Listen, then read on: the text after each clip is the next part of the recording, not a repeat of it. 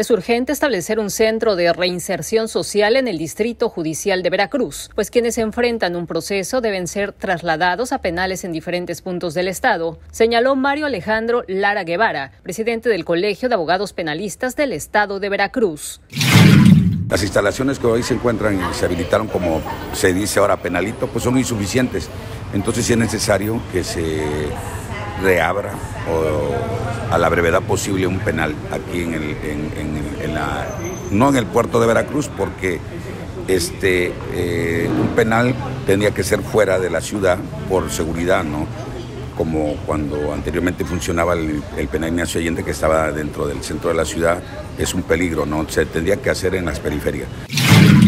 Recordó que los detenidos, una vez que son vinculados a proceso, deben ser trasladados a diferentes penales del Estado, lo que conlleva un gasto mayor para los familiares, además de que se violan sus derechos. Hemos estado este, señalándole al gobierno del Estado y al gobierno federal para que a la brevedad posible se, pueda eh, reabrir un penal o hacerlo, ¿no? Cabe recordar que en Medellín se contemplaba construir un centro de reinserción social, pero el proyecto no se concretó. Bogarreyes en la Cámara para Imagen del Golfo, Laura Morales.